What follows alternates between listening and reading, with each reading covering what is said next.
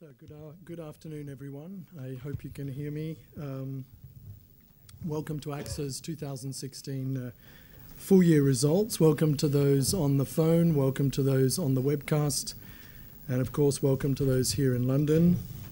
Uh, for the Q&A, we'll be happy to take questions uh, from those on the line or on the phone uh, on the webcast. Just please follow the instructions that you've been given.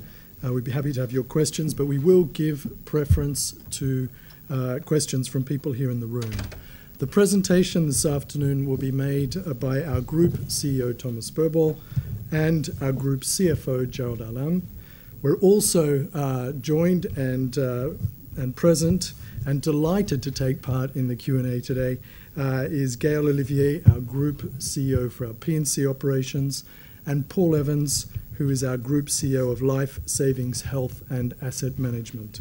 Uh, so they'll be happy to take your questions as well this afternoon.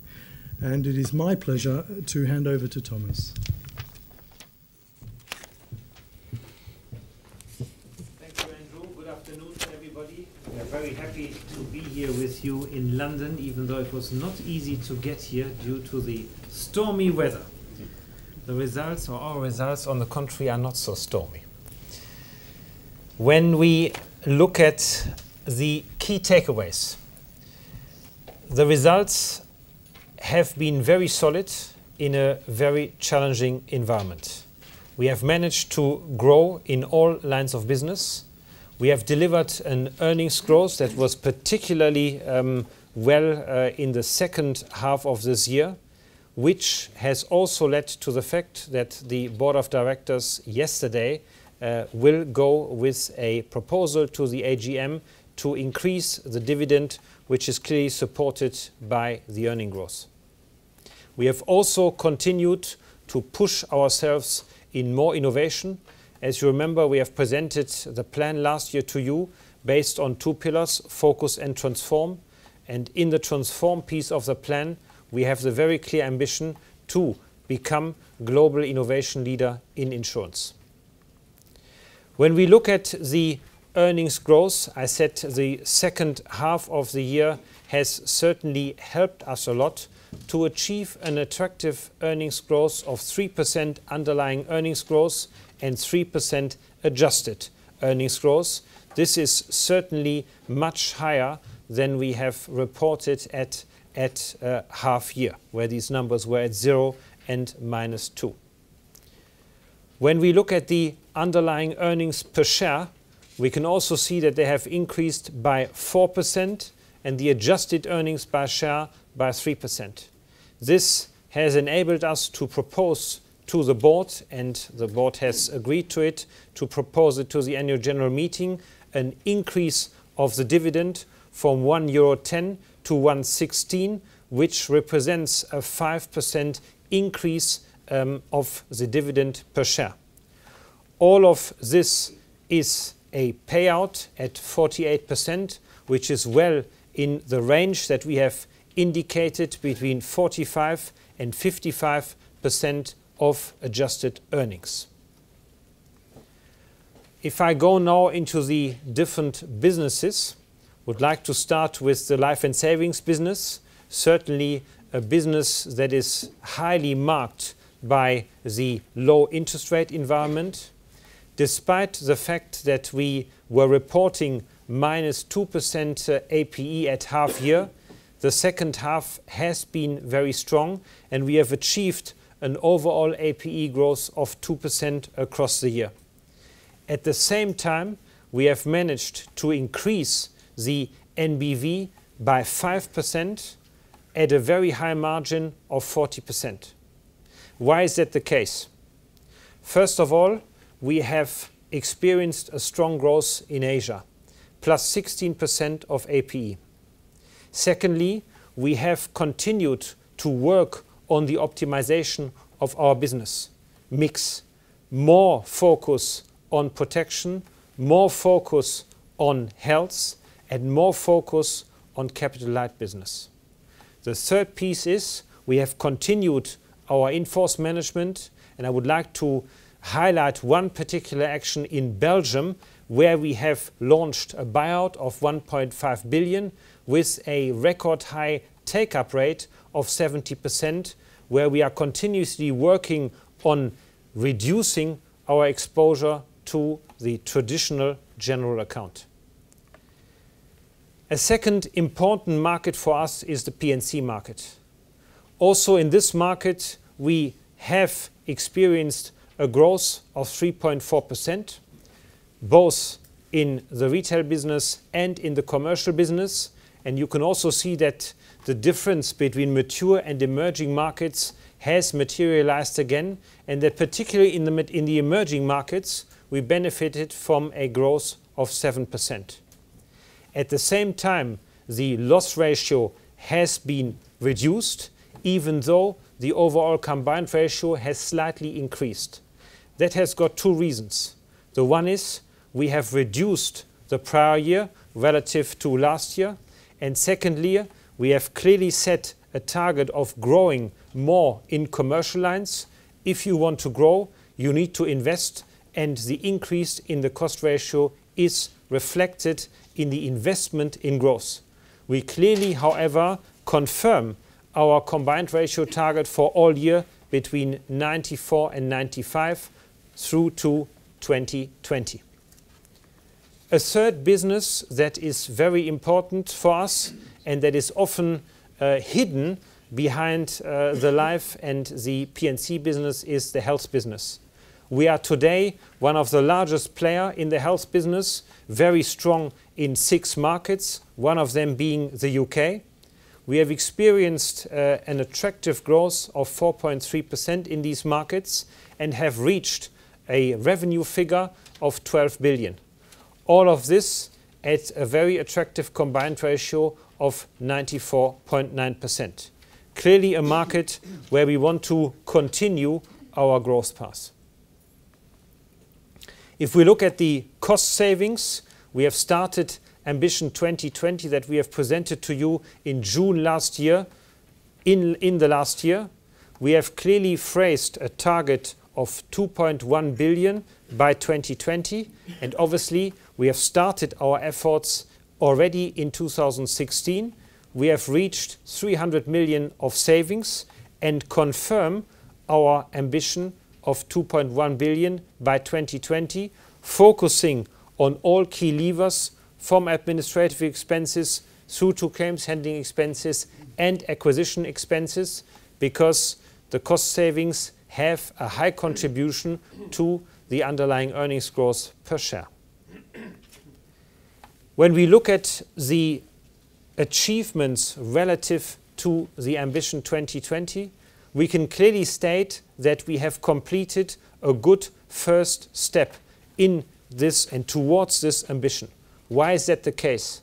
With 4% underlying earnings per share growth, we are well in the range of 3%-7%, and those 3%-7% were very much linked to how are the capital markets performing, how is the environment in terms of volatility. If you think about last year, Brexit, Trump election, those were all elements that have contributed to a significant volatility.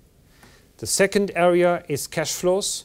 We have reached 6.2 billion free cash flow. Again, if you project this onto a journey between 2016 and 2020, we are well in the range of 28 billion-32 billion. On the adjusted return on equity, same story, 13.5%, well in the range between 12 and 14%. On the solvency position, 197, again, well in the middle between our target range of 170%-230%. Overall, very solid results based on a very solid balance sheet, and the first step in Ambition 2020 is well concluded. When we now look how do we invest in the future and how do we transform our business, we have clearly said that we want to lead this way and really think how can we transform. In order to do this, we need to create an ecosystem for this transformation. We have started and acted very much with the financial and business means on it. We have built AXA Strategic Ventures. we have already invested in quite a few ventures and have launched an additional fund this year of 150 million. The idea is to spot new startups, new ideas, and have a merger between AXA and the startup working together and benefiting from each other in a way that startups have many ideas, we have large scale, and the two together make a good combination. This has been very successful. On AXA Next that we have created last year, we are moving into new business models. If you take uh, my words on the health business, we see that there is certainly a lot of dynamic in this market. Population health management, which is around the question how can you manage the cost increase in chronic diseases better, is something that we really want to be in. We're developing new business models in this area. And Kamet, this is an incubator for disrupting ourselves. There we have also launched three concrete ideas um, in order to really create new business models. On the other hand, we are also in the middle of society acting as a social, uh, as a social contribution to society. And there it's very clear we have got a very strong hand on where do we invest and where do we not invest. We have taken the decision last year to withdraw from investments in the tobacco industry, which was quite a uh, bold statement.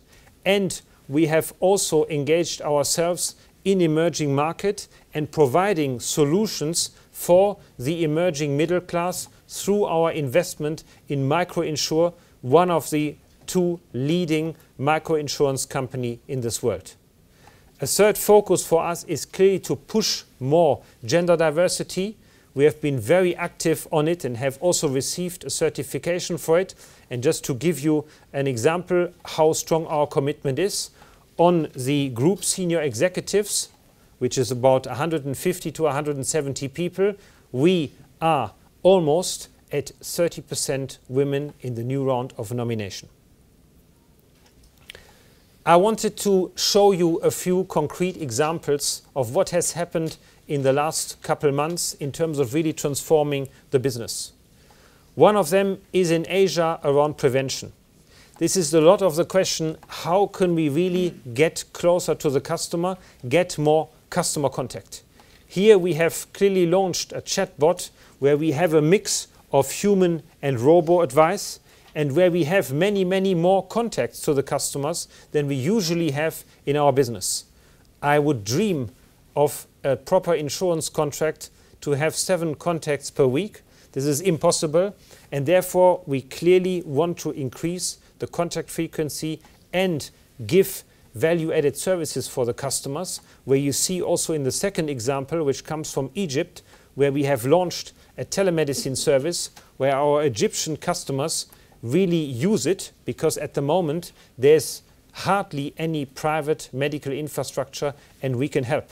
Or if you take another example on the other extreme in adjacent services from Germany, where we have launched an application called WayGuard, where you are being accompanied by AXA. So imagine uh, your daughter uh, goes to a party on a Friday evening and uh, you want to make sure that when he, she parks her car away from her apartment, that she gets home safely, she can connect herself to AXA and walk with AXA back to her apartment.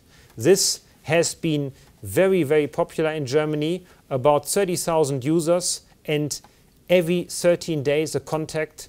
This is clearly focused in the direction how do we transform, how do we create a different customer experience, how are we much closer in contact with our customers. Thank you very much. I would now like to hand over to Gerald to go into the details of our numbers. Thank you. Hello, good afternoon. So going to the uh, going to the earnings. So uh, uh, underlying earnings are plus 3% at uh, 5.7 uh, billion. I won't comment life savings, P&C and asset management because as you know and as usual we have a dedicated part for each of these business lines. As far as banking is concerned, minus 19 is due to the decrease in interest rates. And for holdings, as you will see in the in the appendices, we benefited from lower rates and also from some savings, expense savings. Adjusted earnings, uh, mostly plus 3%, mostly explained by underlying earnings. Net realized gains 415, mostly on, uh, on equities and real estate. And uh, net impairments 395, mostly on equities uh, as well, so plus 3%. Uh, net income, so as usual, we have, uh, we have some elements which don't benefit, like, uh, like uh, derivatives which don't benefit from the hedge accounting. That's the reason why we have a negative adjustment of minus 158. Then we have the fair value of some funds which are mark to market, plus 40. Then we have the discontinued operation, and I would like to, to uh, mention three operations. First, uh, like in the first, and we, we, we discussed it and we shared it with you in the first half is the disposal of the two buildings in the US for close to 1 billion, uh, in, in fact 973 million euros. And we had as well the disposal of the UK wealth management business and uh, uh, the disposal of Bluefin, which is a, a broker in, in, the UK. So now we, as you know, we have, we have our business in, in the UK, which is concentrated on P&C on health. So as a whole, minus 454 from this, uh, uh, uh, plus 387 on this exceptional and discontinued operation. Integration and restructuring cost is linked to our workforce planning uh, investment and uh, uh, the 454 concern Belgium for roughly 50% of it, and the rest is Germany and France. So as a whole, net income plus 2% at 5.8 billion. Going into a bit more detail and moving to life and savings. So uh, uh, on the top line, uh, we have a growth of AP of plus 2%, mature market minus 1, uh, plus 14. You can notice that the plus 2% is a, a, a, significant increase. At, at the end of, um, at the end of uh, of June, we were at minus two. We were at zero uh, at the end of September. So a nice improvement. We are at plus two now. Uh, new business value plus 5% and uh, plus 7 in, uh, in uh, mature markets, minus 1 in emerging markets, coming mostly from China. And as you can read in the middle, uh, uh, China NBV is margin is at 17%. There again, you remember that there was a bit of emotion at the beginning of the year because we had a negative NBV margin on, China, so we end up at 17%, which is much better. So we walk the talk. I told you at that time that after the new year, we will uh, write much more protection uh, uh, business in, in, in China. That's the case. So as a whole, new business margin moved up from 38 to 40%. Um, then let's concentrate on this slide on the net flows. So we have plus 4.4 billion of net flows, of which protection and health plus 5.1. GA savings, it's minus 3, but indeed it's plus 3.6 in capital light and minus 6.6 billion in capital heavy. And uh, unit linked is plus 1.3, but we have been uh, uh, we had the effect of the GMXB buyout. So excluding this effect, we would have been at plus 2. So a, a, a, a nice level of uh, net inflows uh, in, in life. Uh, let's go to the underlying earnings. So on a post-tax basis, as I mentioned to you, we are at plus 2. Uh, let's go through the pre-tax basis. Uh, minus 5 in protection and health, explained by higher net technical margin.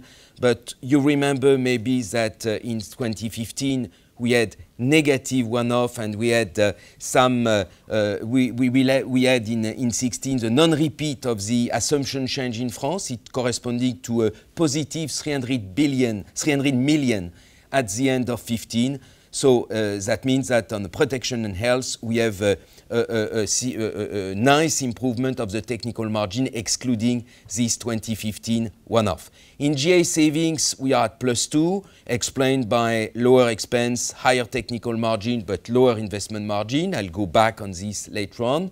Unit linked, minus two, uh, we have a higher result from the US in VAG VA GMXB, but we have lower fees and revenues in Italy due to the specific situation uh, in Italy. And as you know, with MPS, we, we had uh, mainly, uh, we have a significant part which was in, in unit link business, and we have a higher DAC amortization. So to make a long story short, it's a, a, good quality earnings on the life side because it's more technical margin and more DAC uh, amortization. Another way to look at it, it's, uh, it's this, uh, um, these charts. we start from 2015 restated. It's starting from 3.4 billion, then we have the protection and health plus 124, GA savings plus 15 million, US VA GMXB plus 107.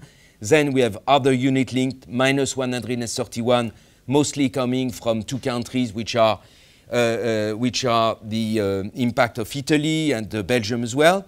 Other and Forex and other plus 110. And we have this exceptional one-off in France in 2015, which makes that in 2016 it's a decline of uh, co uh, corresponding decline of 259. Uh, then we have tax 131 and higher positive tax one-offs 35 and you will find all of this in the MD&A. So we end up at 3.5 billion. Let's move to property and casualty. So plus 3% uh, revenues, personal lines plus 4, commercial lines plus 2. Here you have the, our traditional slide on the, the price effect and uh, you can see that we benefited from a price effect of 3.8% in personal lines. Uh, uh, uh and uh, it translated into 3.6 in revenue growth. Price effect have been positive almost everywhere except uh, in Italy, where we, we, we, the market suffered from decline in prices. And I remind you that the market was um, at very high prices in Italy uh, commercial lines plus 1.5 and in the end revenue growth of plus 2.3. You can see on the market pricing trend more or less we are still expecting positive uh, uh, price effects uh, in the UK and Ireland, in Spain and more or less flat in France and Germany and uh, negative trend in, uh, in other countries.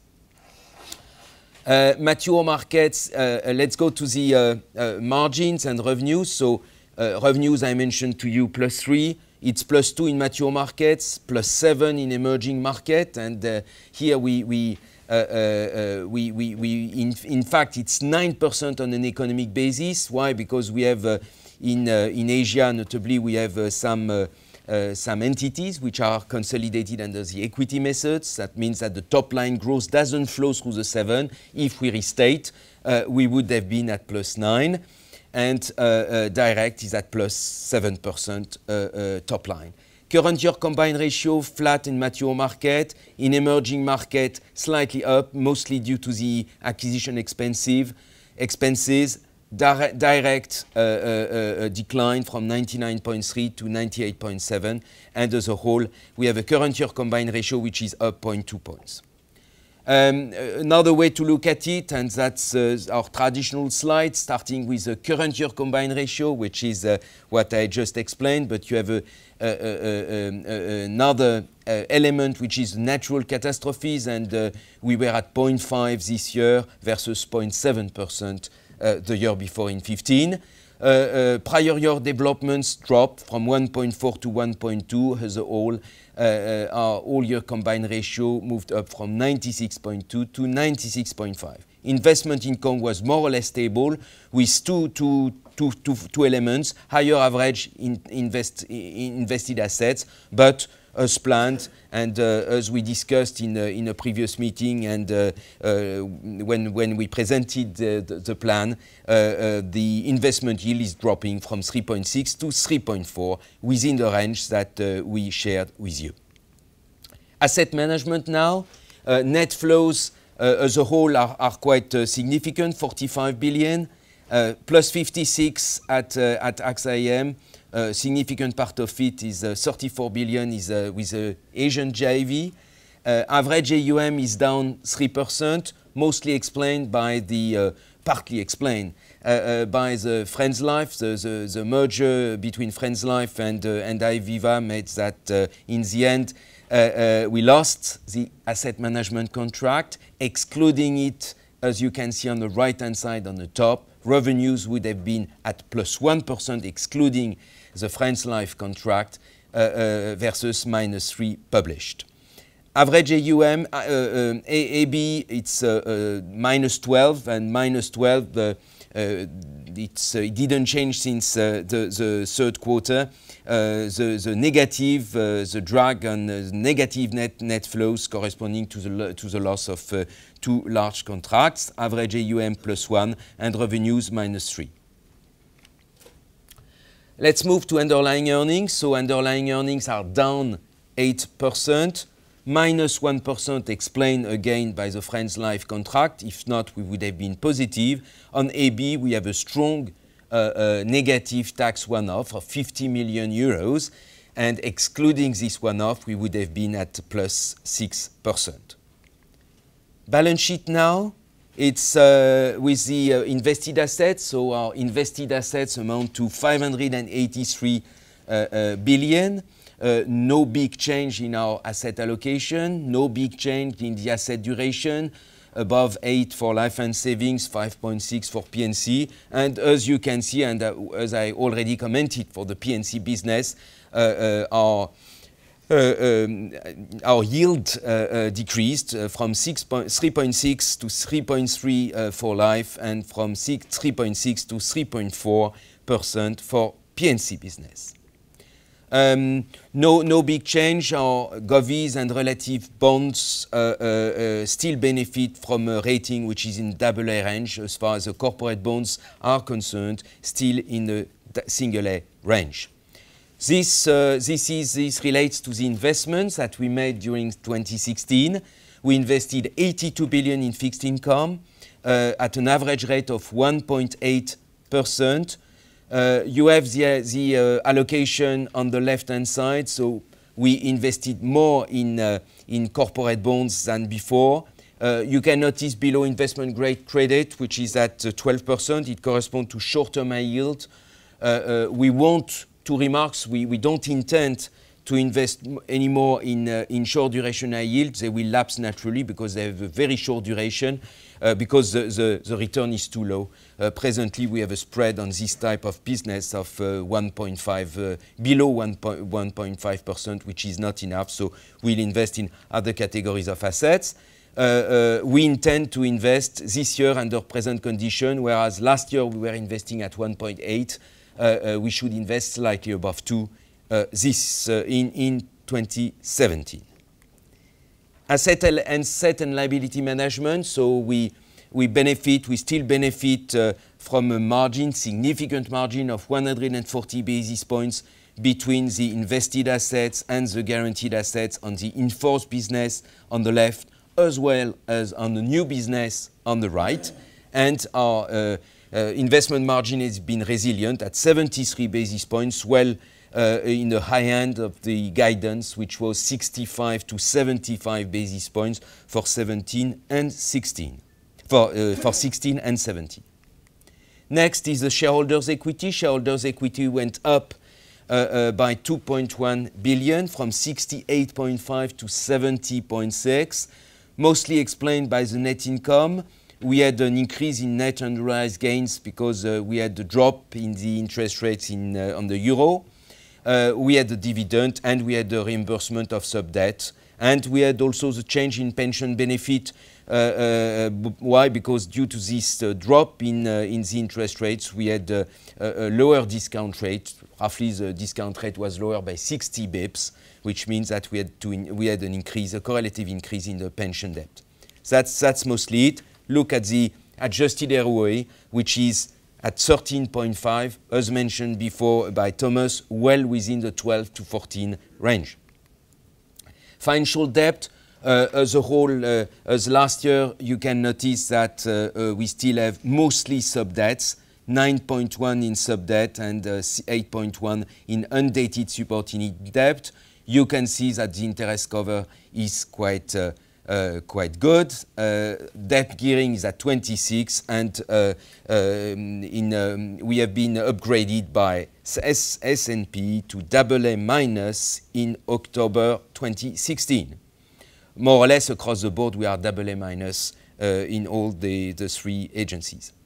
Uh, Solvency II ratio, we, we are at 197%, so uh, uh, you have the roll forward, so operating return explains plus 19 points. We started at 205.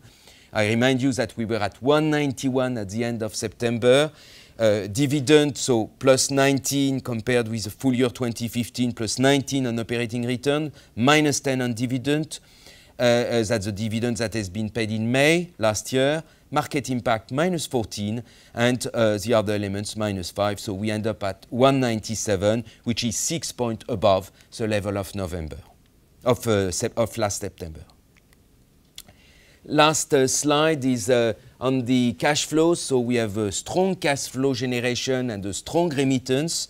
Uh, uh, we have um, operational free cash flows are at 6.2, so in line with last year, but the uh, cash remitted to the group, to the holding at 5.4, so higher than last year because we moved from a remittance ratio at 80, from 81 to 88%. And now I hand over to Thomas for the conclusion.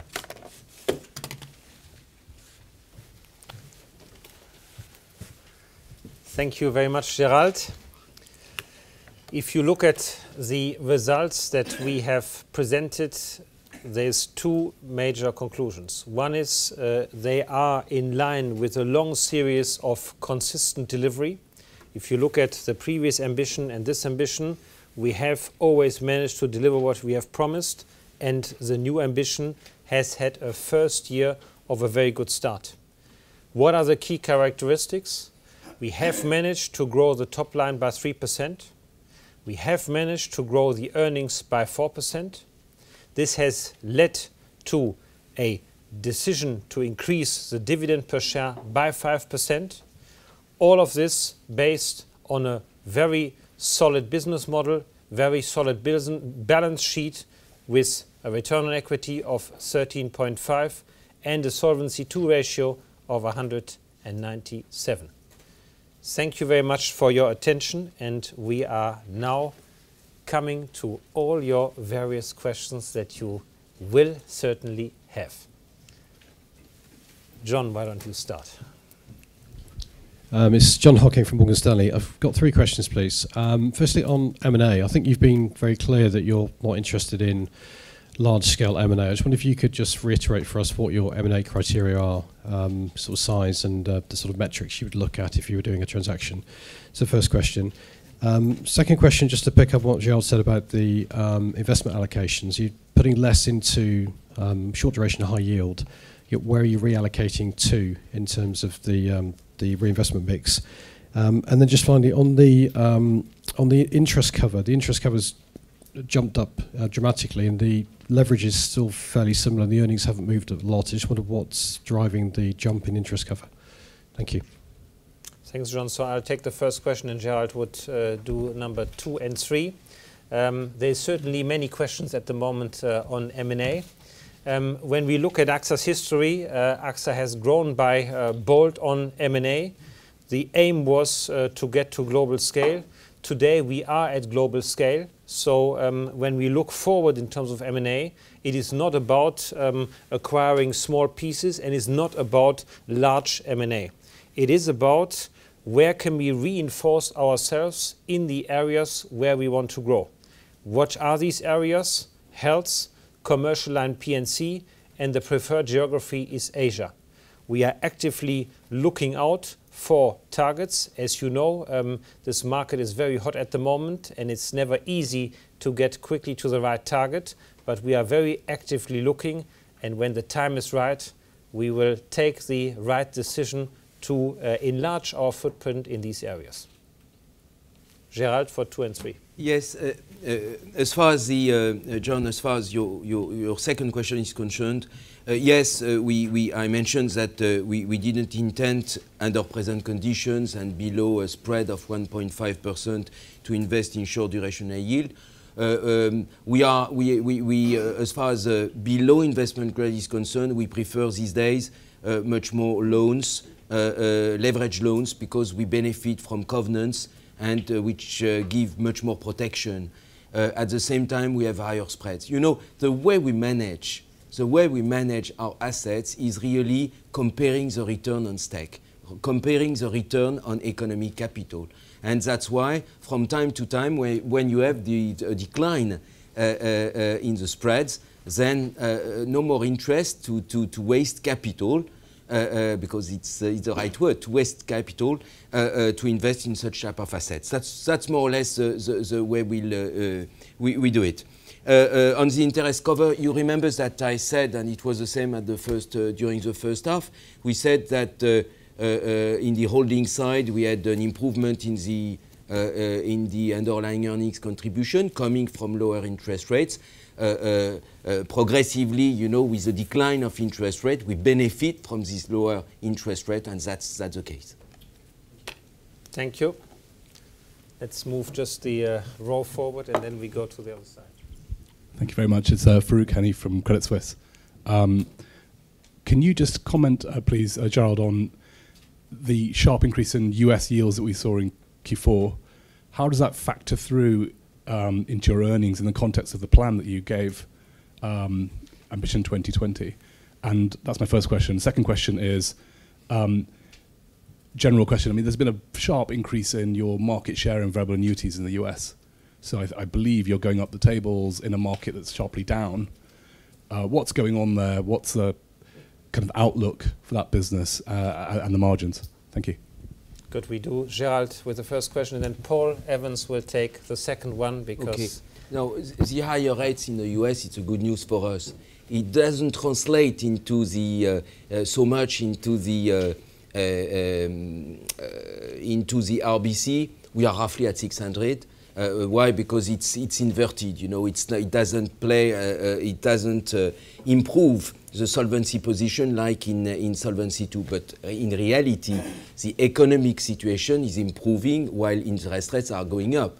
Uh, uh, and you can see, uh, uh, I, I could go through the through some appendices, and in the appendix you have the the contribution to, to earnings of the of the U.S. and it's um, on page yes on page B31, and on page B31 you can see that indeed uh, uh, in the end we have a contribution which is uh, the interest rate credit and spread. You can see it's the fifth line.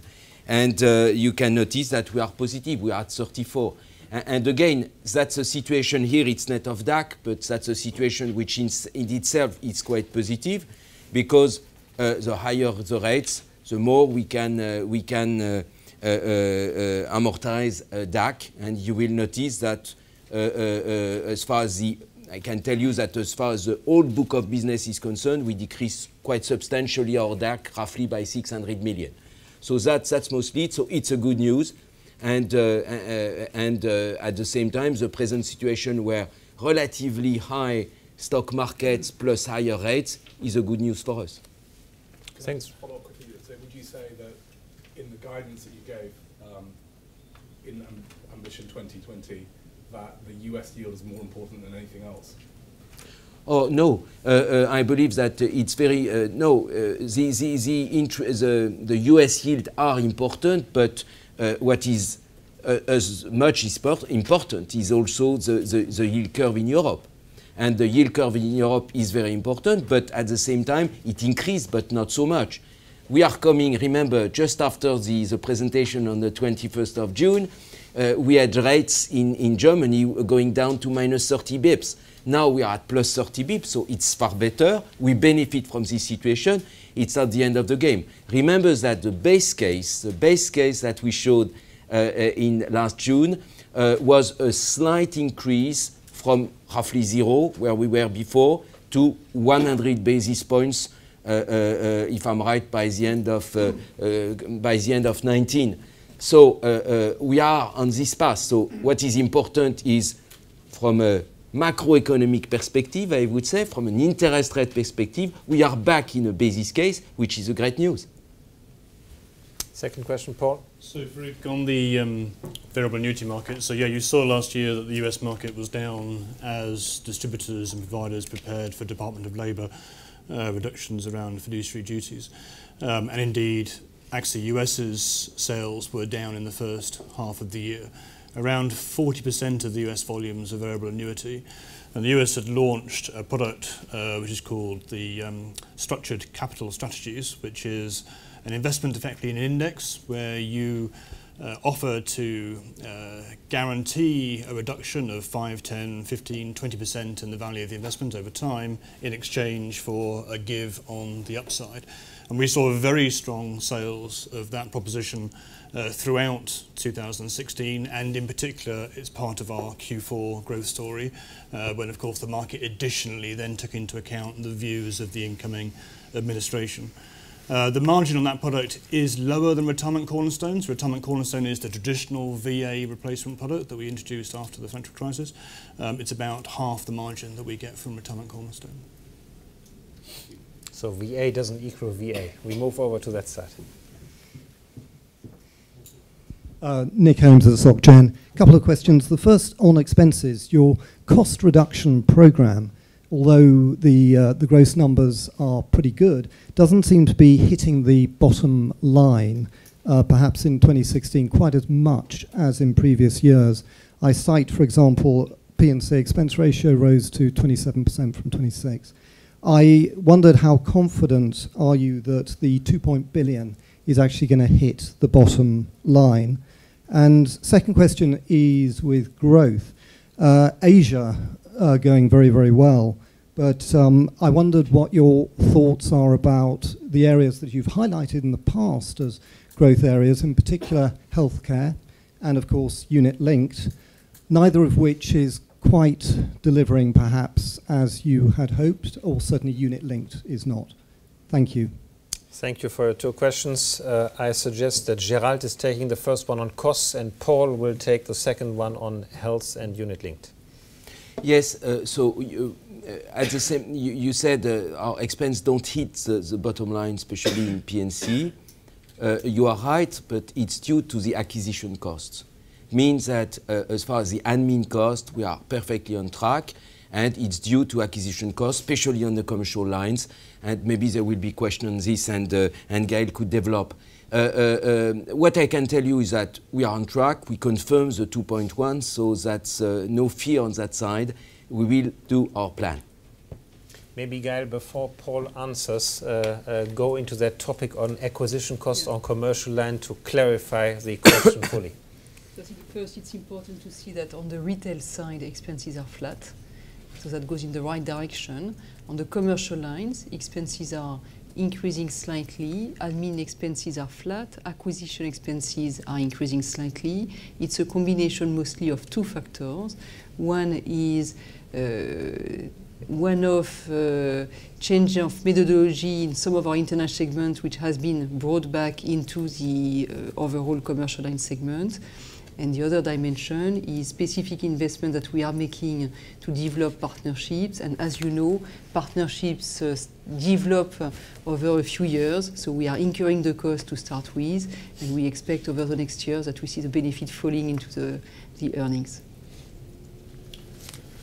So on uh, healthcare unit linked, so if you go back to A22, which shows the, um, the mix of APE, so first on health, so we've shown 4% growth in revenues in healthcare. I can't see you, Nick, sorry, wherever you are. Uh, hi, Nick. Um, 4% growth to uh, 12 billion in uh, healthcare. Uh, which actually was very solid performance across the board uh, and was despite some uh, turn back in the Gulf in particular.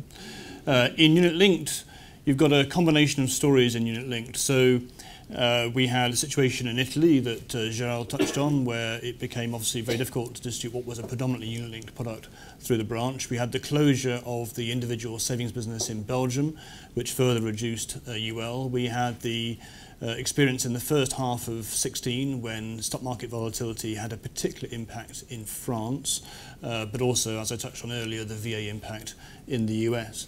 Nevertheless, I increasingly look at UL and capital light GA together because we are increasingly re-engineering um, our GA products to be capital light, i.e. the NBV margin is such that the AFR is matching the step requirement after an MVM uh, or above.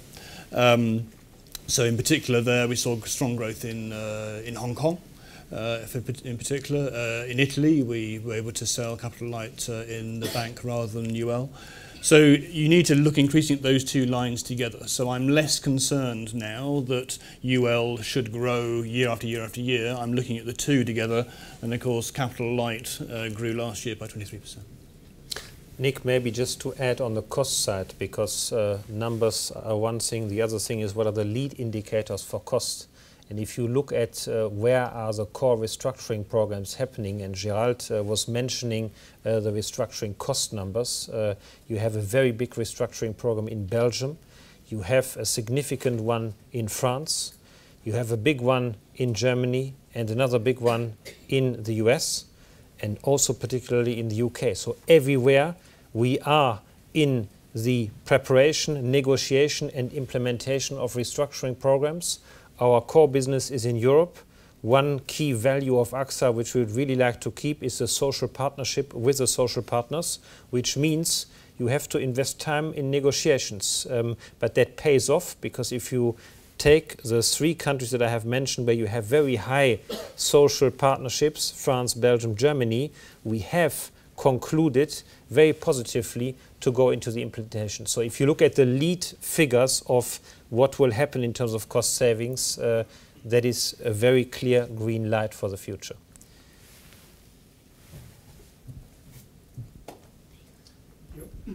Ralph Hebgen from uh, KBW. I've got uh, two, two things. One is on the cash. Uh, you showed a net remitted number of 5.4 billion, I think. Uh, I'd like to discuss whether that number still includes any repayment of internal debt and if it does, it would be great if you could tell us how much and indeed whether your strategy is ongoing to pay down internal debt uh, domiciled in the AXA Financial Holding in the US. And the second question relates to P&C. Uh, we all noticed that you have combined the old P&C function and international insurance you have repeated your target, but indeed extended it to now include the international or the, the, the core business units in the old inter international insurance segment. So my question is basically, what drives that optimism? Do you are you hoping to generate diversification pricing benefits from the uh, combination of the two segments or anything else? Thank you. Thank you very much. Question one for Gerald, question two for Gaëlle. Okay, Ralph, uh, so uh, your question about the, the 5.4 billion, did we reimburse that uh, coming from the US? Yes. Uh, we roughly 1.2 billion. And uh, uh, it was higher than the previous year. You remember that I mentioned guidance that was around 0.6 billion. Uh, uh, why? Because we had the disposal of the two buildings and uh, the cash of the two buildings has been upstreamed. And um, your, your second part of your question is about what's next and what will you do in the future. Yes, we will go on. And the objective is to, to have a regular basis at a lower pace, of course. Uh, uh, but the basic principle, uh, it's also to, to, to reimburse. Another point also, you remember that in June, uh, uh, I said that uh, I was comfortable with a 75 to 85 uh, uh, remittance ratio guidance because we had some potential also to reduce uh, capital. I'm sure you remember this to reduce capital and to optimize capital in Europe. So, globally speaking, that means that's why we are comfortable and we remain comfortable within this range because there will be plus and minus depending on the years, but we still have this capacity to optimize our, uh, our um, financial situations. Gaëlle? So on the commercial line side, maybe just to re-emphasize what we have done in 2016, you see the growth at 2.3% more or less on the commercial line side, and that includes the international segment. You see a loss ratio which is improving by 0.8, and you see an expense ratio which is increasing, not on the admin but on the acquisition side. So that gives us comfort going forward that we can achieve our overall all-year combined ratio target for the commercial segment by 2020 to reach 94 to 95% range. Because despite being in a soft market, we are able not only to grow our business through a mix of price but also volume effect while improving our underlying profitability.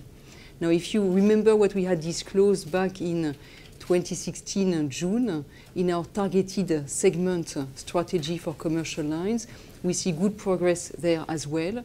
If I just illustrate with the initiative that uh, Amanda here is a sponsor of, which is the SME initiative, we are growing that segment at 3.6%, which is well in the range that we have also shared with you back in June last year.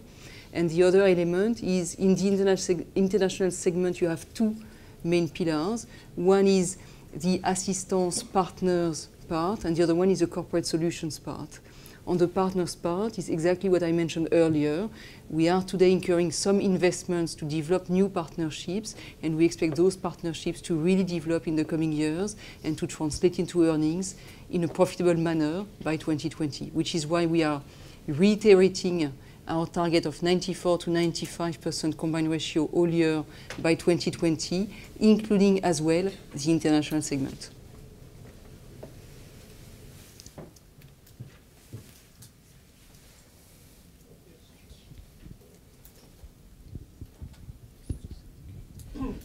It's Mark um, Cathcart from Jefferies.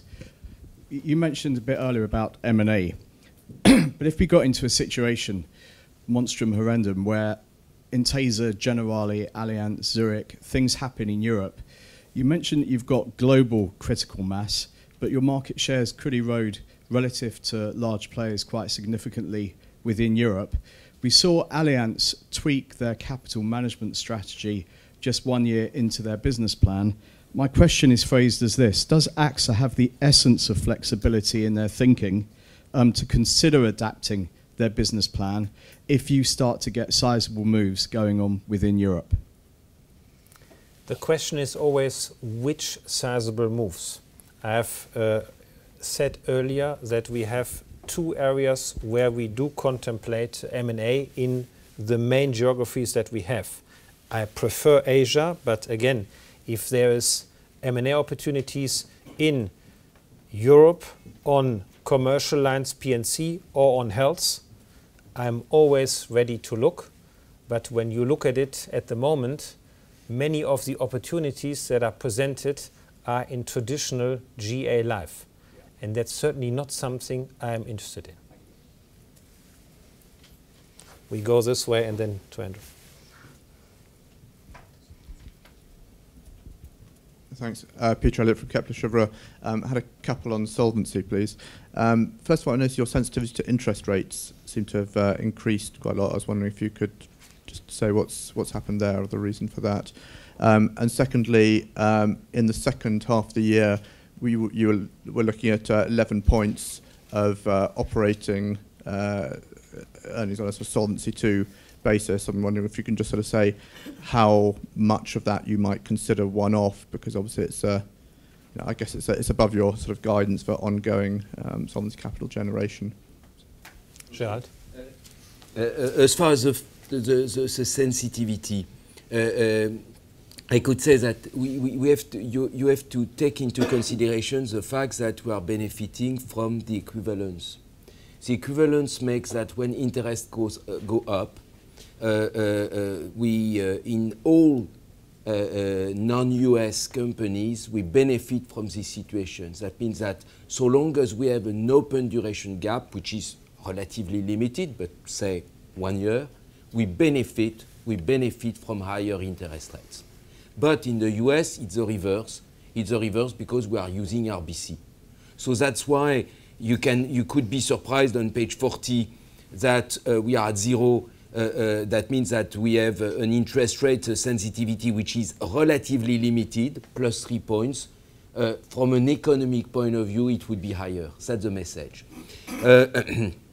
Uh, uh, next, uh, the about the operating return, you know, it, it's difficult to draw. Uh, yes, we, we, we, said that it would be between 15 and 20, and you are referring to this, between 15 and 20 bips of operating return per year we are in the high end of this range.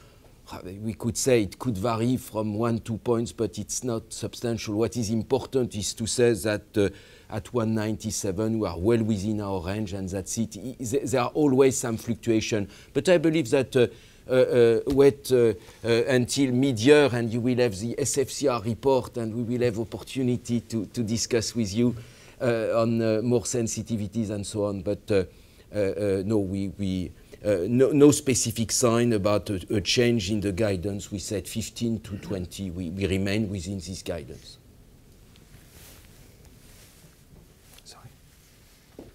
Uh, hi, uh, Andy Hughes from uh, Macquarie A couple of questions I could. First one, the reinvestment rate. Obviously, it's it's gone down in the second half versus the uh, sorry versus the first half. Um, just quite curious about the leverage loan investment strategy that you're planning. Um, how much yield are you getting on the leverage loans, and what's the risks in the in the leverage loan portfolio? C can that be a large part of the assets of AXA Group, or is it always going to be a very small part of uh, of the business? And uh, a second question was about um, the commercial lines expansion. So I guess I heard from Zurich and maybe also AIG that they were pulling away from long-tailed lines in commercial because of the inflation risk. And um, I'm just wondering how, how, you feel about that at the moment. Um, I can see it's probably a bit hard to, to beat you up over the reinvestment rate and the inflation rate at the same time, but uh, it seems I'm doing it. Uh, so uh, on the P&C side, if inflation picks up, I mean, obviously you've got quite a long duration on the P&C assets. Um, how, how well provisioned are you against that? Thank you. Gerald, do you want to take the two questions on investment and then Gaëlle, maybe you comment uh, on the uh, commercial lines business and yeah. the long-term nature so, of it? Uh, about the, the leverage loan, I, I, it was an example. So uh, last year, as I said, we invested 12% roughly in below investment grade. Uh, uh, but we are speaking from, and last year we had 82 billion to invest, which was quite large. This year I'm expecting to invest to have between 40, 50 billion, 45 to 50 billion to invest. So I'm speaking for a few billions. I'm not speaking from, uh, from huge amounts. About the spreads, your question was what do you expect in terms of spreads? It's something like a spread of 250 bips, something like this. Because again, uh, uh, the, the point is that I, I uh, you know, the reference for us is really how much capital. That's, that's, the, that's the, the, the answer I gave before. Uh, that's the amount of capital that we want to dedicate to it. So I'm not at all ready. You can see that all the line of business, all the line of business has a quite high return because that means that in terms of return on investment, return on equity, we have high levels. I don't want to invest and to dedicate capital in order to have, say, less than 10% return. So that's, that's why we, we, we are quite keen and mobile, flexible in terms of investment.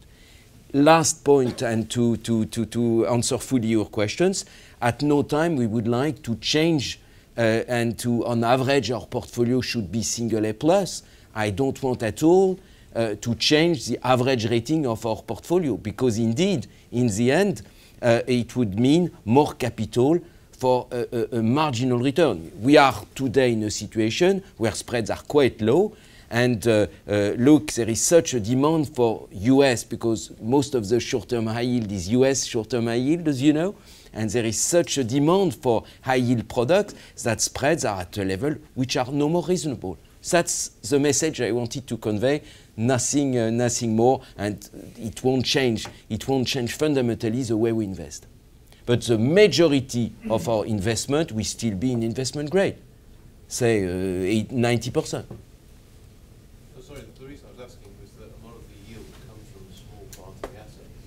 Yeah, so a lot of the yield could come from small part of the assets, but to develop more, uh, uh, you know, for example, a significant part of, of our uh, uh, significant part of our new money is invested in corporate real estate loans, for example, uh, uh, and corporate loans are investment grade loans, and but they, they are illiquid, which gives a bit more return. So there is no magic in it, but uh, I can tell you that uh, my team, my investment teams are working hard in order to find buckets of assets with good return, with, uh, uh which are mostly investment grade, but with a high return on, uh, on, on, uh, on capital, even if we accept to be less liquid. Commercial line. On the commercial lines, I would say, on the perspective, I would say probably three things.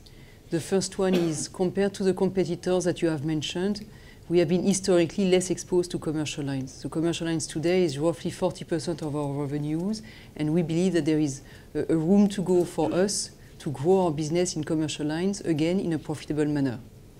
The second thing is the way we are intending to do it is in a very segmented manner, and we believe that today we have still opportunities to grow in segments in commercial lines. SME was an example, mid-market is another one, international offers, where today we have a global presence, is another example of areas where we believe we can grow business profitably in commercial lines.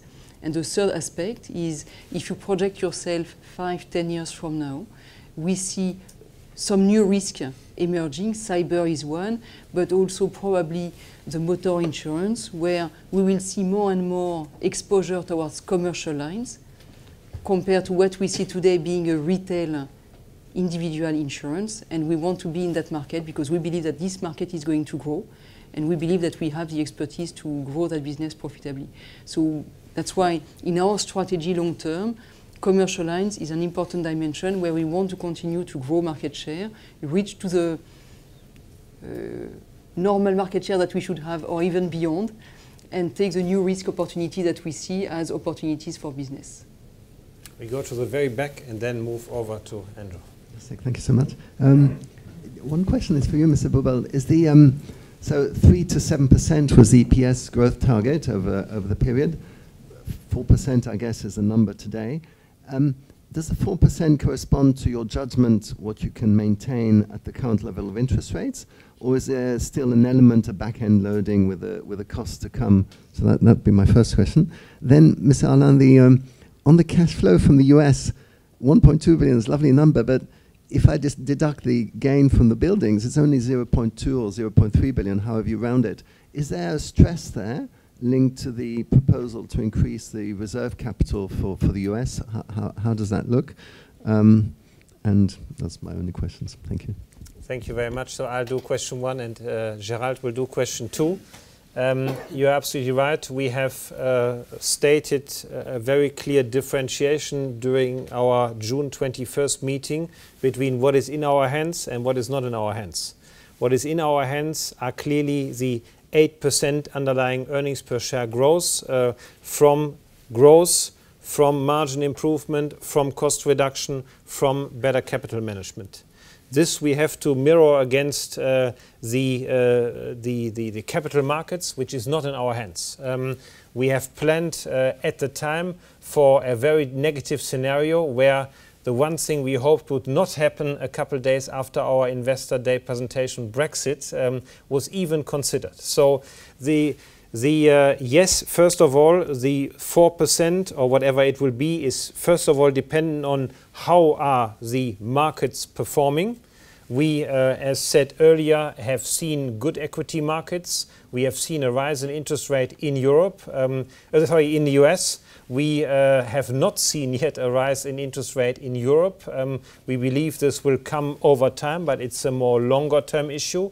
And secondly, uh, you are absolutely right. When you look at um, the development between 2016 and 2020, I would not assume a linear movement because um, there are things that you have to invest in and have to get going before they materialize. I mentioned earlier uh, the cost. Um, if you want to reduce your staff uh, in European entities, um, you have to first understand where you can do it, how you can do it. You have to agree with the social partners. That takes time, but uh, I have indicated earlier that certainly in three countries we have uh, reached a major agreement to go forward and materialize this. So yes, uh, this should not be uh, a straight line. Second question to Gerard. Yes, the, the, your, your, question about the US cash flows, uh, indeed, for technical reasons, you know that first, even if it's a repayment of debt, uh, uh, it translates into a repayment of debt through the holding company, and then you have the, the operating company, and the operating company pays a dividend to the local holding company.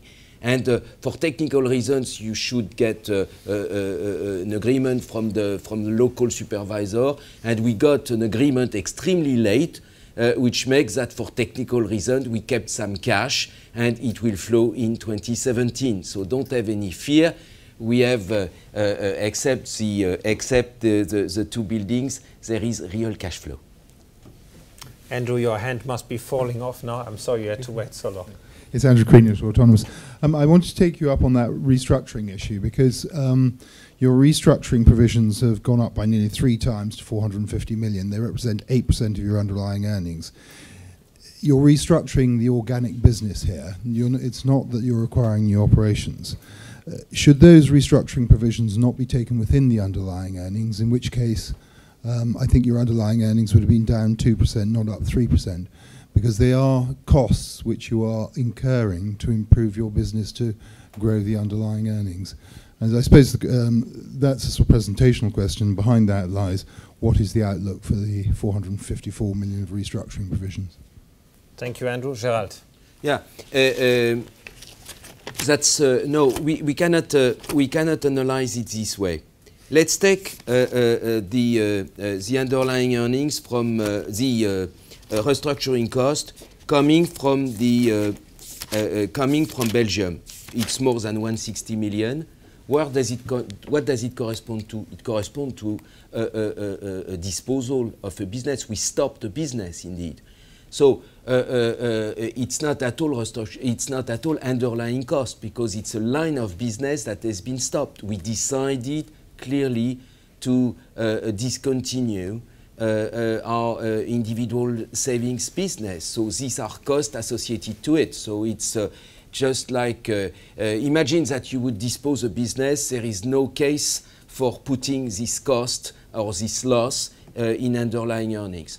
Uh, for the two other countries which are concerned, Germany plus uh, uh, Germany plus uh, plus France, it's really restructuring. It's restructuring because we have to uh, uh, uh, we, we, we have to uh, uh, we have pre-retirements in these countries, and uh, these pre-retirements correspond also to uh, initiatives that are taken in, in, in order to change the business to be more effective, to be more profitable. That's, that's more or less the case. So really, uh, uh, and it's not something that uh, uh, you could expect to have uh, uh, on a recurrent basis. So don't expect to have restructuring costs at such a level uh, uh, in the, uh, in the uh, future years.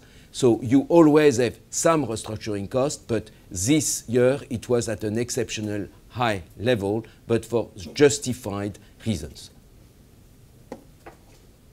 Blair.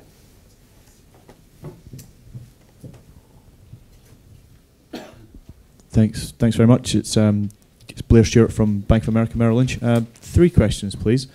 Um, we've talked about the plan a lot and the interest rate uh, movements. Um, I think within your plan, there's a 0% equity uh, assumption. We've had better than that, and we may well get better than that in the coming year. What, what can you give us some form of sensitivity to, to what happens if you get some positive uh, growth in equity markets, say 5 or 10%? What does that do to the earnings of the company? Secondly, on, on Asia, um, you know, you've struck a fairly optimistic tone about Asia, but the, I noticed the payback period has gone from three to eight years. Is that a function of uh, macro conditions or is it something else? Because eight years is quite high by Asian standards. Um, and thirdly, I just wonder if you can give some commentary on the US. You've given uh, good guidance in the past about what might happen to DOL or what, what might happen to VA volumes uh, around the DOL, which is fairly accurate. Given that DOL is likely to get watered down, um, given the possibility or prospect of lower tax rates, etc., in the US, I wonder if you can just refresh some of that guidance to what might happen in the US. Thank you okay, very much. Thank you, Blair. So let's take first question, Gerald, and question two and three for Paul. Okay. Uh, um, let's just, uh, uh, for sake of clarity, I propose you to go to page B21 because I believe it will answer your question. Uh, uh, here, that's uh, the usual analysis, what we call the margin analysis, of our unit-linked business. And here you have uh, 163 billion of unit-linked average reserve. It's not exclusively equity. Let's say that roughly you have two-thirds in equity. So it gives you a good view. You have 2.6 billion coming from, uh, from, uh, from equity. So let's say that uh, a rise of 10% of the equity market more or less could represent something like 200 million pre-tax and pre-DAC. That gives you a, a, good idea. I believe based on this page you have a good, uh, a good view and, and, good sensitivity of what it could, it could mean. Yes, for sure, it would be, it would be, a, good, uh, it would be a good news for us. That's what I said, uh, both in Europe, both in the US. Uh, we have two large countries where we have unit-linked business, as you know. It's uh, the US, it's France, and also other countries, but uh, not to the same extent. It would be an excellent good, good news. Asset management as well. Yes, asset management as well. You are absolutely right, and you can make all your mass uh, uh, on asset management as well. You have all the appendices uh, here. You are right. Paul, on payback in Asia and US regulation? Back in Asia, I'll speak under Gerard's control. I believe what you're seeing there is the mix of country toward China. Gerard, are you going to? Yes, uh, uh, uh, it's uh, um, it's on which on on uh, which page? Seventy two. 72. Yes, and uh, so what you are referring to is the fact that we are moving from three to eight years, and you are absolutely right. it's coming from the fact that Uh, um, uh, in, uh, in, uh, in China, we have less, we had a very high profitability in countries like Indonesia, Thailand, and the fact that we, we are growing strongly in a country like China with a marginal NBV, but the RR it's not it's linked, uh, uh, makes that we are uh, increasing the the paybacks. That's that's that's exactly this reason. Okay, good guess. Um, I mean, clearly the, Tha the Thailand mix, we saw two factors in Thailand. We saw our banking partner uh, have issues with performing loans, and we also, of course, saw the death of the king. So we saw uh, downturn in profits uh, in volumes in a high-margin country and switched into China, where, which saw great growth. Um, the US, uh, it's difficult to give a projection in the US because there are now quite a number of moving parts.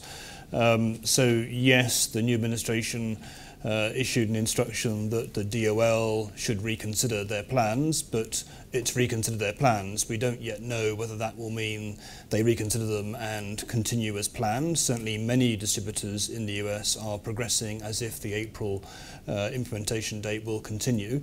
Uh, we expect it to change, but we don't expect it to be zero. We don't expect no reform of fiduciary duty, but we do expect it to be more favourable. Then you have the administration's plans for taxes, which are, of course, uh, unclear, but an expectation of uh, lower uh, corporation tax rates, which is positive for us. Um, uh, expectation on dividend tax, which is negative. Uh, and the key question is where will the administration go on estate taxes?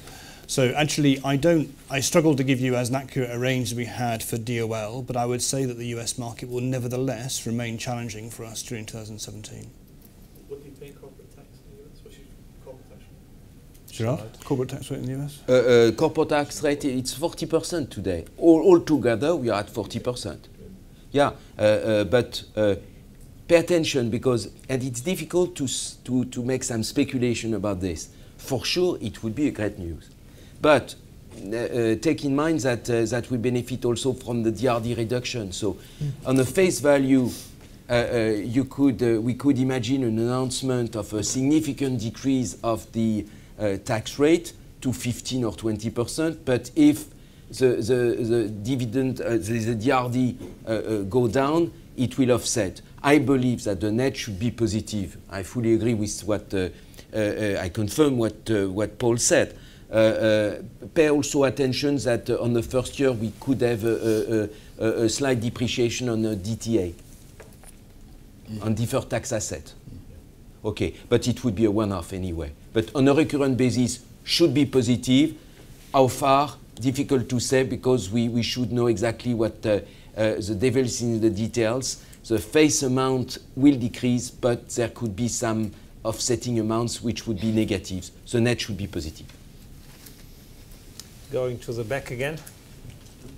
So, so considering uh, France to be also the, the next political place, could you give a, a, a feel for how the various scenarios could play out for the group. Um, certainly here in London, there's always a discussion, a fear that you know um, France could exit the euro. I mean, maybe there's a hope. I don't know. Um, So this is certainly uh, a topic, and uh, when you take the, if you take the bond markets as a uh, temperature uh, feeling for how uh, certain or uncertain uh, something like this is, you have seen in the past couple days that spreads between the OAT and the German Bund have been widening. Um, this could be a, a, sign of concern. If you go back further in the history, you see that those 80 plus minus basis points uh, are actually not that high because um, we have seen times during the uh, European financial crisis where the spreads have been much higher. Uh, it is true today that uh, you can have uh, very different uh, scenarios on the political front in France. you know them as well as I do. Um, the question arises what is the chance of a Frexit? Um, the general sentiment in France, and my personal opinion is that uh, this chance today uh, is fairly low. Because after Brexit, um, it was a clear wake up call for continental Europe. And what you see today is a much um, heavier cooperation and effort between the German and Franco couple. Because at the end of the day, if you want to give a new narrative to Europe, it is those two countries who need to carry the narrative. Both countries will have election this year, and uh, there is a strong hope and desire that uh, two candidates uh, and two uh, voted people emerge that will carry this, uh, this couple forward. So my personal opinion, yes, there is a chance, the chance is, to my mind, very low. And if you look at uh, the, the markets and the spreads, that will show you that relative to the past. However, we need to prepare ourselves for it, um, but we mustn't only focus ourselves on Europe because apart from Frexit and Brexit, um, there is uh, many, many uncertainties in the US. There is China, uh, there is Thailand, there is Malaysia. Um, we are living in a world of uncertainty and risk, and uh, fortunately, our business is to manage uncertainty and risk. And if you look over the last uh, 30 years, we have always coped with this in a very proactive approach, identifying it early and acting on it. And I'm very sure that in a case of Frexit, which I really hope will not happen, we will be doing the same. Jon? Can I ask you, you're clearly all very confident in the balance sheet and the, the earnings are pretty stable, the cash flow is looking good. Uh, what does it take for the dividend to move up through the payout ratio range? So, I mean, we have clearly uh, stated uh, today that the dividend will increase because underlying earnings have increased. And for me, this is an absolute uh, key paradigm we want to keep the stability of the balance sheet. Uh, that is our asset, our backbone, and we don't want to jeopardize this balance sheet by uh, applying a dividend policy that does not follow the earnings. Ralph? Oh, sorry. Yeah. Sorry, you need a microphone. So I didn't want to. You can finish your writing. I'm sorry, I didn't. No, no, it's um, it's all clear. uh, actually, this was exactly the same question. I was just looking. So I've already answered it. Yeah, uh, I've already written the answer down here. No, I, am basically perhaps just a, a, slightly different framework. If you just look at the U.S., I mean, the U.S. is clearly in bullet points. You have a 600% RBC ratio. The operations there are clearly self-funded. Um, sometimes you sell a building. There is internal debt still at AXA Financial, which you can upstream the dividend which you paid is 1.5 times covered. This compares to a annual run rate in the past of 1.3 times. So, uh, slightly flippantly, what are you doing with all this cash? I, I understand, of course, the requirement and necessity to keep the balance sheet strong. But this is exactly also my sentiment. Would you not be able to, even now, allow the payout ratio to increase to perhaps the upper end or the upper half of the payout ratio range So perhaps if you share some additional thoughts reflecting the enhanced cash generation capacity which AXA has achieved over the last two years. Look, first of all, we don't have so many buildings anymore that uh, are left in the US. Se- secondly, uh, you are absolutely right. We have been successful in our cash generation and we want to continue to be successful. I've also given you a very clear hint uh, when questions came on the M&A strategy that we are dedicated to reinvest that cash in the activities that we like to increase. And when I'm talking about health and commercial lines, I'm not only talking about core insurance, health and commercial lines. I mentioned earlier AXA Next. There are businesses developing beyond insurance that are related to insurance. I mentioned population health management. You could go as well uh, in the commercial line area and see that the risk consulting and risk identification piece, certainly if you take one booming area, cyber risk, is uh, a business that we should be looking at. So we are all personally very committed and dedicated to invest this cash where it's required, where it's building our business, and where it's generating further earnings capacity that we can then distribute. But again, we need to take one step after the other.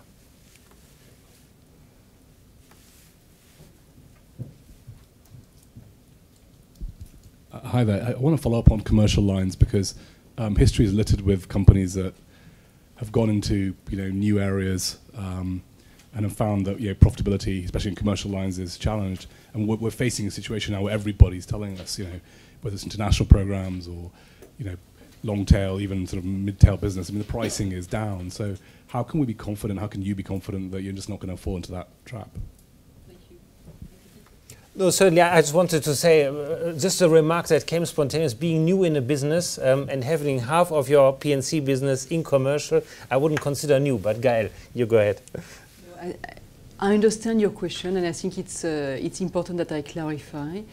Commercial lines is not only the large risk, and very often what you have in mind when you think commercial lines are really the large risk. So that's why I insisted so much in my two answers before on the SME segment. It's an illustration of small companies, and we take SMEs, let's say less than 50 people employed, and in that segment, those, in, those companies, one, they are growing the economy. 80% of the growth of an economy in a society is coming from that segment. Two, they need proper protection. Three, they are not properly addressed today. And when I look precisely at what we are doing and the growth we are able to generate, again, the growth in our commercial segment is 2.3 in average in 2016. On the SME segment, it's 3.6. So we have a segment there which is growing much faster. Now, to illustrate that, we have a perfect example here with the UK and what Amanda is doing in the UK. UK, mature country, you could say uh, low inflation, low economic development, are you able to grow in that market in a profitable manner? And what we are able to demonstrate in the UK on the P&C side in commercial lines is that we are able to grow at 9% on the P&C side in the UK in a profitable manner. And we have other examples like that in other countries. We have also other countries where we have already a very sizable commercial lines book. Take France, for instance, or Switzerland. So obviously, when we already have a sizable book, uh, the strategy to grow will be different. But when we have opportunities that we see in some markets and we attack them in a very segmented manner and we see the first success building up, then yes, we want to be confident that we can continue on that successful way and continue to deliver our growth, again, in a profitable manner. And those are not large risks, so it is not the long-term liabilities that you can associate with nuclear plant or uh, very large risk. Those are the business that we encounter every day when we walk in the street, when we uh, uh, do our own uh, individual needs. You go to the barber, you go to the coffee shop. uh, those people, they need insurance as well. And that's what we are targeting. And the, I think the big opportunity that we have in our hands being both a retail player and a commercial lines player, is that we are able to, to leverage the new technology today, the new tools, to address that segment in a much more convenient, lean, uh, user-friendly way, and that's what we are doing in the UK. I Amanda, if you want to add uh, Yes. a few things. The power of a living example can never be beaten. So, Amanda, why don't you join me and tell exactly what you've done? So yes, I, th- I think the, the opportunities are not just in the traditional sense. So what we've done here is look at the various different segments as Gaëlle outlined in the micro SME. We've looked at a different route to market. So we've looked at a more direct route to market. So taking what we know about the direct business, a digital approach, um, you know, much more efficient without without any acquisition costs or with lower acquisition costs. And we've grown that business. We've started that from scratch. It's a pure digital play. It also allows us to do more value prevention and more more rounded service. So I would completely echo what Gaëlle has said. And what I see from my sponsorship of SME worldwide is the opportunity for us to grow in SME is there in virtually every entity, and the that you do not get then the huge exposure to big the, the big scary stuff, which I think you you do all associate with commercial. It's really more retail like than it is commercial lines. Perfect, Amanda. And, and just to add to this, because we looked at the UK now, if, if you look into Europe, where's our strength? Our strength is not in underwriting the scary stuff, if I might uh, may quote uh, Amanda. Our strength is in presence of, of agency sales force. If you look, what is the challenge of these agency sales force? They are today very much exposed to the motor business. We all know that you cannot make a living anymore in 10 or 20 years only for motor business. We are actively transforming these agency sales forces towards more advice heavy business, commercial business, the butcher, the barber, those are the ones uh, that are close to the agents. And if I give you one example of AXA France, where uh, Gaëlle used to work, Today, we have significantly reduced the business mix of the agency sales force to 30% in motor only, and the commercial line space has taken this vacancy. So that is where our strength is. We don't want to go in broad international large risk. Our home turf is retail like SME. Nicola Dalla Palma from Exane BNP Paribas. So my, my question is on, on innovation, and there were some examples on slide 14, which I thought were interesting. And the so each of these examples clearly makes makes sense. Is probably profitable on its own, but it's small in the group in the group context. So my question is, how do you manage the complexity of innovation? Because it, it's um, uh, it's a bit like a, rest, a good restaurant moving from a menu with with a few plates, which are which a few dishes which are really good, to a, a very 40-page menu you know, uh, where where you struggle to choose. My question: Are you looking at each of these initiatives as a call option on one, or, one or two or three or five of them will be great, or are we just going to have to be used to a much more complex environment where you will be running thousands of initiatives that all together are profitable? No, so you're absolutely right. We don't want to create the menu with 40 pages. However, to get to a decent menu, you probably need to launch 40 things to see what are the three or four that are very uh, interesting and, and carry future value. On the slide here, I've only given you the latest ones. I have not mentioned the ones that are already in production where we are in the market it is very clear for us that we don't want to have 40,000 uh, uh, innovative ideas and innovative approaches. We want, however, to enable our people to innovate. And uh, one thing that has struck me when I was traveling to all the different uh, AXA countries in the first place and doing it again now is the innovative and entrepreneurial uh, activity and energy that, uh, that AXA has. And uh, that is in every country, be it in the UK, be it in Egypt, uh, be it in Asia. What we are going to do is to have a look which of these have the highest potential. And if you look, for example, at the telemedicine, um, at the telemedicine uh, idea, that has clearly been copied. We have started telemedicine approaches in the UK, in France, and have used the same logic and the same approach for the Egyptian market. Obviously, you have to adapt. Um, if you have no doctor and no hospitals, um, it is a very different uh, situation where you have an overpopulation of doctors uh, and a social security system on the side. So you take the same ideas and adapt it country by country. And uh, that's how we are going to do it first create a lot. And you also have seen in the slide beforehand that we have uh, very different approaches. Uh, we have one approach where we invest into innovations. We have another one where we destroy ourselves with Kamet, disruptive approaches. And we have an, a third pillar, which is building innovations out of ourselves. All those three, it's important to generate the menu, but at some point, the boss has to decide what are the dishes that are coming on the menu.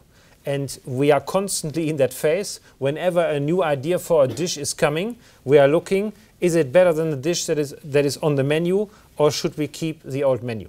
So it is clear, not a huge complexity, a slim menu, but also leveraging the size and the logic of AXA, which is we can copy and paste from one country to another.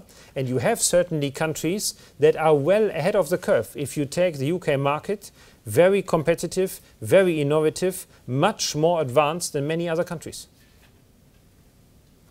I think there was first in the in the very back and then so you, you reiterated the 94 95% combined ratio guidance, but now it includes um, the international business, which has always been higher, so around 98. So where does the extra positive come from to offset the I don't make a lot of sense, but anyway, it sounds as if you improved your target, is what I'm trying to say, and I'm just wondering where it comes from. Gaëlle. So I will uh, probably repeat what I said earlier. Yes, it's, it's, it is actually an improvement of the target. What gives us comfort there is two things. One, how we start to see the development of our plan going with a growth which is building up uh, both uh, from volume aspect price effect despite a soft cycle and with a loss ratio which is improving. So we see that as a good sign that we are able to grow despite the soft cycle and in a profitable manner. And the second aspect is what we call interna international segment is basically two pillars, the AXA Assistance Partners part and the AXA Corporate Solutions part. And if you look at the partners part, that's precisely where we have started to invest, building new partnerships. That's why our acquisition expenses are increasing. And we expect those investments in partnerships to translate into earnings over the plan, which is why we are reiterating our target, but widening the scope in a wider uh, book of business, including international insurance.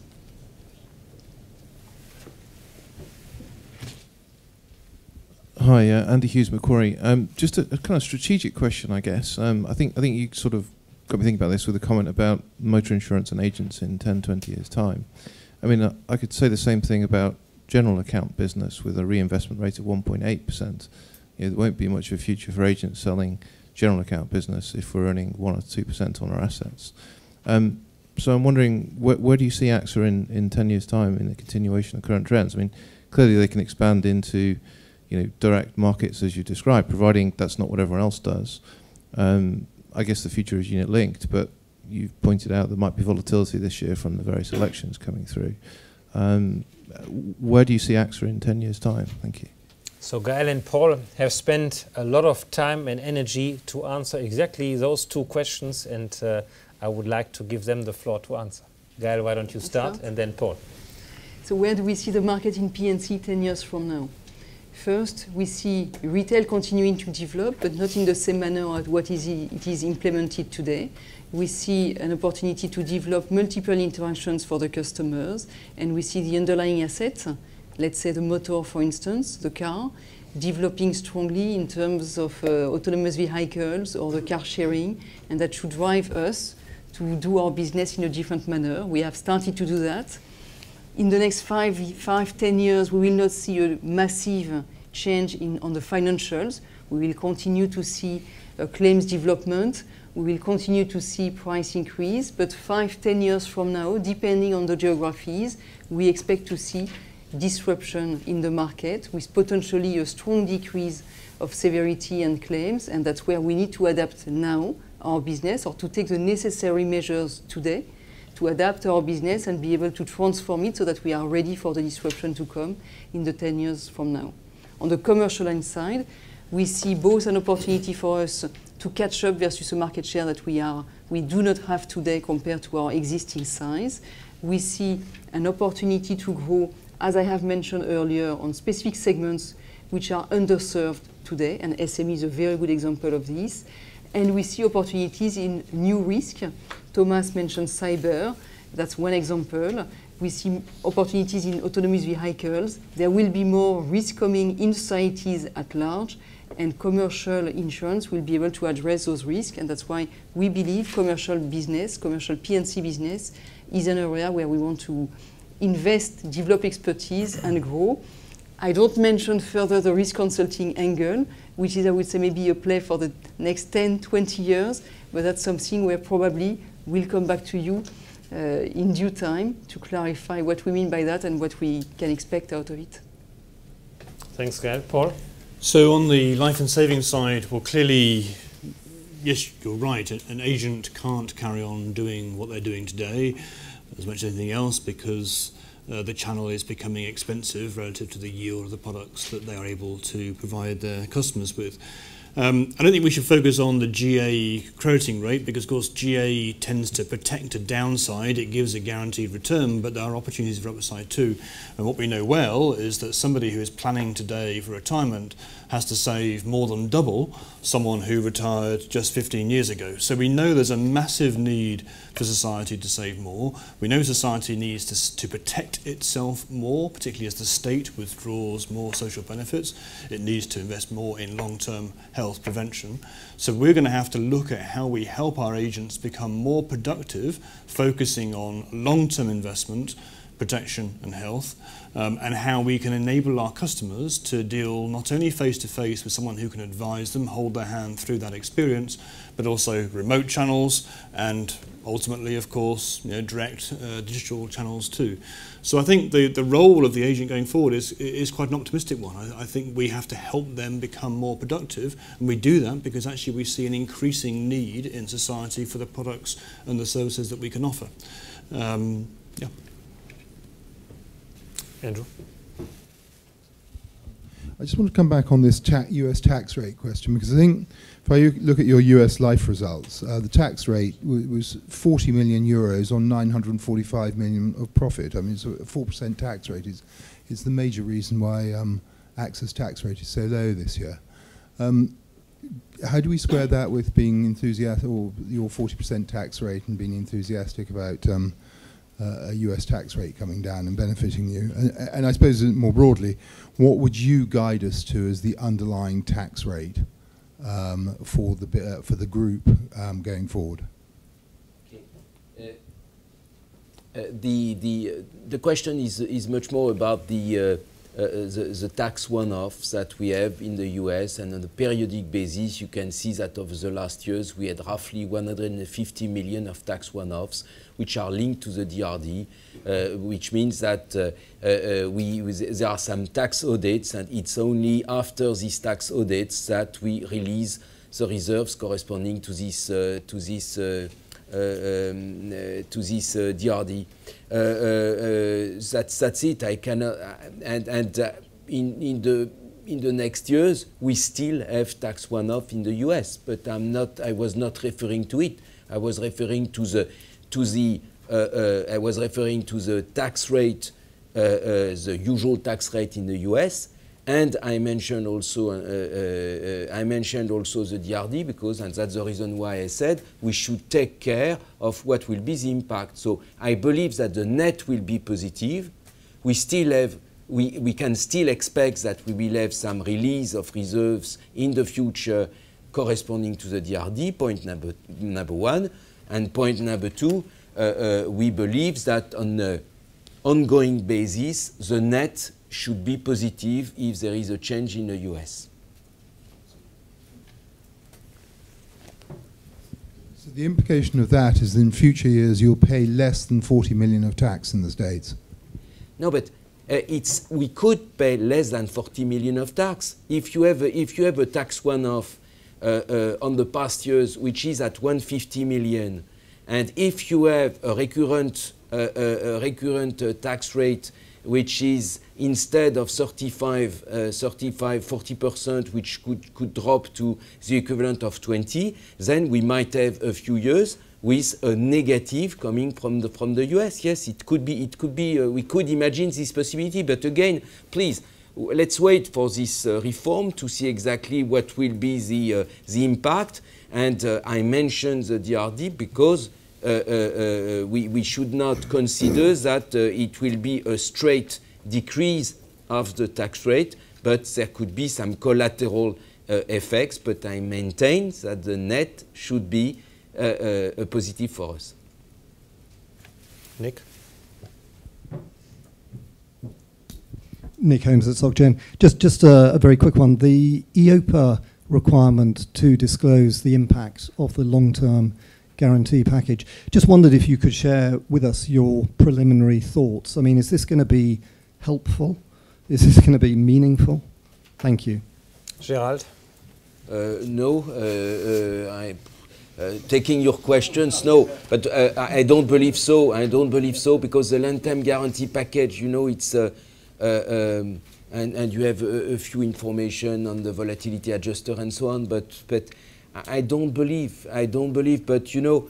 Uh, uh, keep in mind that over the next years there will be some further thinking about uh, some evolution that could take place. You remember that there will be some slight change expected in 18 but mostly it will concern the uh, standard formula, so we shouldn't be we shouldn't be concerned.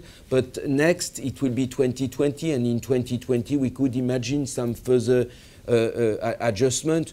Roughly speaking, what is really at stake is the, is the equivalent of the, of the volatility adjuster, because the volatility adjuster should correspond to a reality.